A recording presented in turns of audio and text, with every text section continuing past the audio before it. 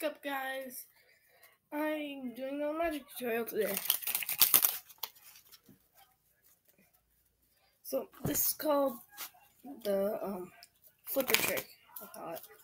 So we want it. So you can you can either shuffle or your uh your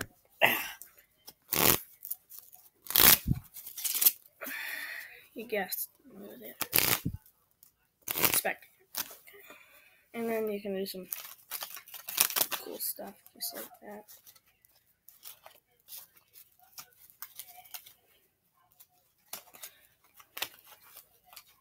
So what I'm gonna do here, I'm take me pick a card. Mm. Okay, that's a card.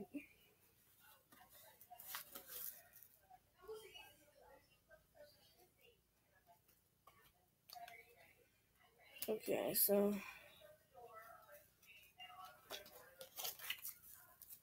oh, we're back in the deck. Okay.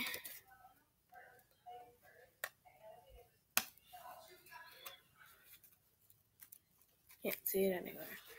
Alright. Put my hands behind Alright. My hands behind my back make it harder for me to see it. Spread the deck. I'll feel the card. and flip it over. There's one card face down. Oh. Wait. There's a lot of cards face down.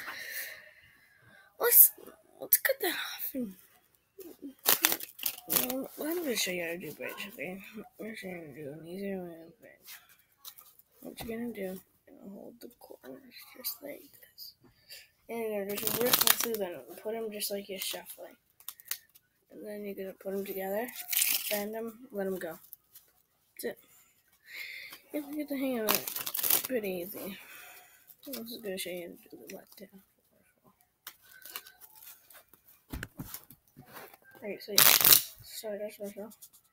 Send this, and then fold down just like that. Do it again. Shuffle, normal. So yeah, this position, bend them, make them fall like that. really simple cardistry, but well, make sure to subscribe, like the video, and everything. And, yeah.